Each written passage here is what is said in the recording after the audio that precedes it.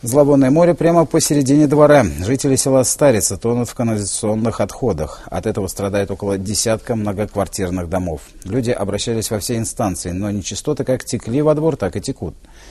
Об отчаявшихся людях и о безразличных чиновниках расскажем в рубрике «Срок ответа сегодня». Вот я открываю. У нас колодцы не чистят.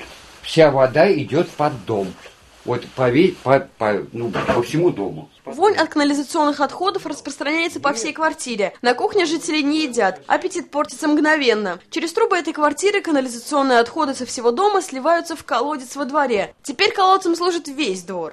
Такой зловонный запах. И вот я так думаю, что ну, весной, летом это же запросто может быть инфекционное заболевание. Это же совершенно невозможно, чтобы фекалии вытекали посередине двора. Жители боятся, что старый дом просто рухнет. Отходы текут прямо под фундамент. Люди уверяют, что это не единичный случай. Такую отвратительную картину можно наблюдать возле каждой двухэтажки. И терпеть это приходится почти два года. Больше всего боятся за детей. Маленькие сорванцы вполне могут упасть в зловонную лужу. Это хоть и не смертельно, но, мягко говоря, приятного мало. И председателю мы не нужны сельского совета. Приедет, камеру заведет, все, пишите письмо.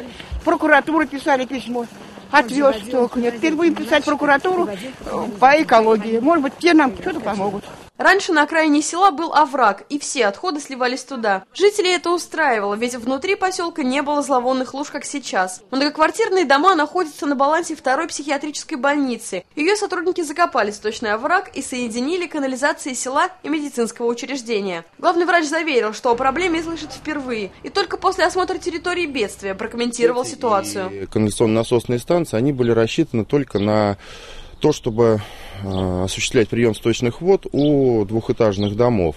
Вот. На сегодняшний день мы имеем множество незаконных врезок. Главный врач ситуацию пообещал взять под личный контроль. Сегодня, к слову, был тот случай, когда обе стороны действовали сообща.